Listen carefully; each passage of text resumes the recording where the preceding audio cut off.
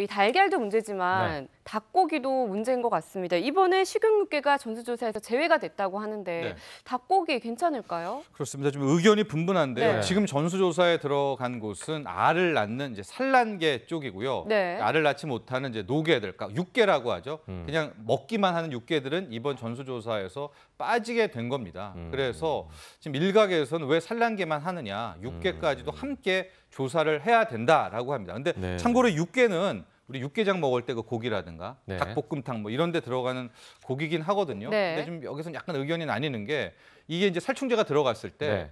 닭이나 그러니까 몸 닭 자체로는 해독 작용이 있어가지고 쌓이진 않는다. 예 쌓이진 않는다는 거예요. 근데 알을 경우에는 그게 쌓이기 때문에 네, 네. 이닭 자체 뭐 치킨이라든가 여기에는 문제가 없다는 이제 그런 주장이 있는 반면에 네, 네.